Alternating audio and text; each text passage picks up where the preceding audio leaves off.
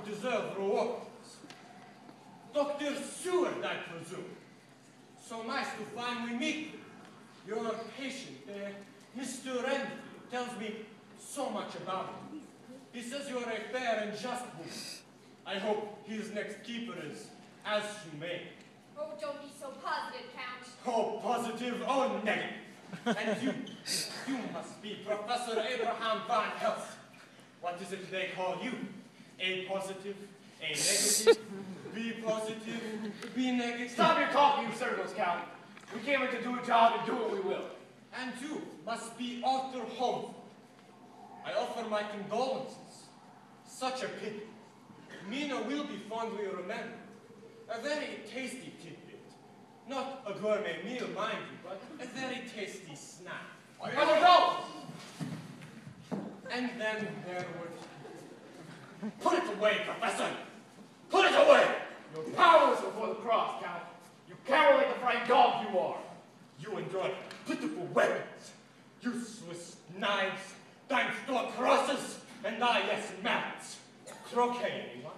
This knife won't be so useless when we use it to sever your head from your dead body. Be careful, Patricia. But a doctor, in order to uh, this exquisite specimen from these broad shoulders, you are going to have to kill me.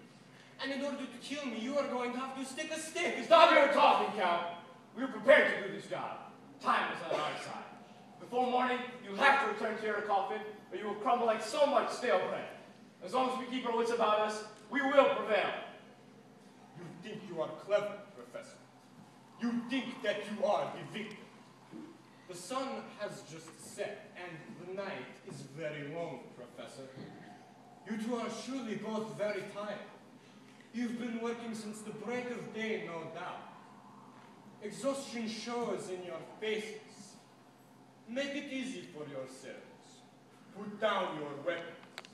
I will be swift and merciful. Don't listen to Patricia. Don't listen. And don't look into his eyes. He's right, Abraham. Or B. Never outlast him.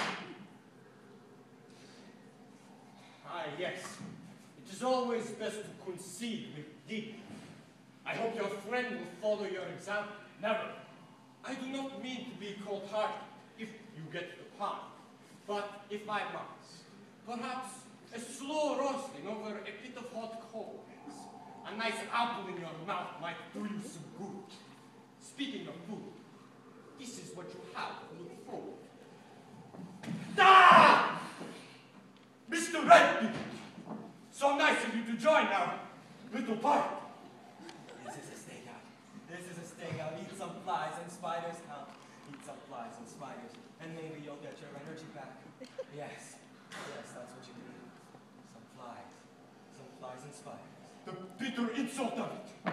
The fact that I, Count Dracula, after, after thousands of years of conquest, the, the slaying of thousands, I am felled by, by an imbecile.